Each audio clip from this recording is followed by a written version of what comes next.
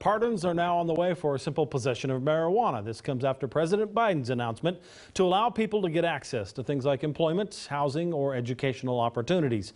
But what does that mean for folks locally? KSN Samantha Boring checked in with some local officials to see what they're saying.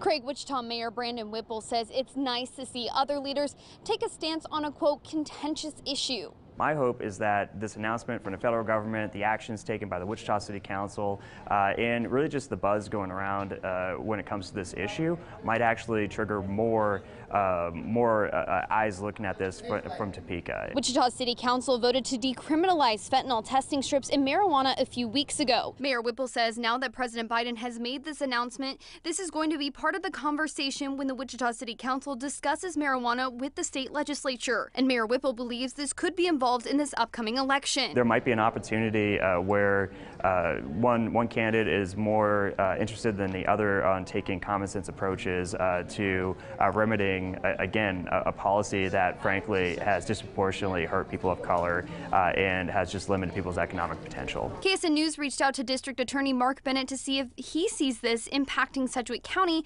after President Biden called on state governors to take similar action. Bennett replied, quote, I don't see such a decision having having an effect on the county until or unless the state legislature removes marijuana from the criminal statutes of the state, it would still be illegal to possess. The governor could continue to issue pardons, but issuing pardons would not change the law. End quote. We reached out to Governor Laura Kelly's office regarding President Biden's Thursday announcement. They said in part, quote, she will continue to consider all clemency and pardon requests based on a complete and thorough review of individual cases. Here for you, Samantha Boring, KSN News 3.